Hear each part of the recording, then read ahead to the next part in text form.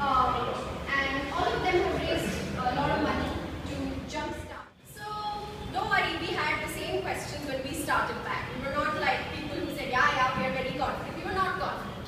And uh, so one thing that we started from the start was every time somebody funded, we did a survey. I mean, I think Facebook keeps us all connected. There's this uh, sort of almost false sense of connectedness which really comes in handy when you're doing crowdfunding. I have to run away from home, then get into design college and figure things out. So after about 20% of you know getting my money, I thought I'm going to send these 150 people in the family uh, an email and hoping that someone who you know has liked me as a child or thinks I'm cute will